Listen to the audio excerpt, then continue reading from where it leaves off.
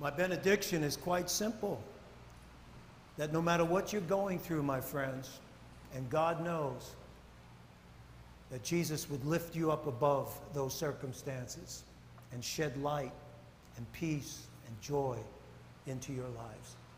And if you're not going through that, look for somebody who is and bring peace into their lives. Amen? Amen. Jesus' name.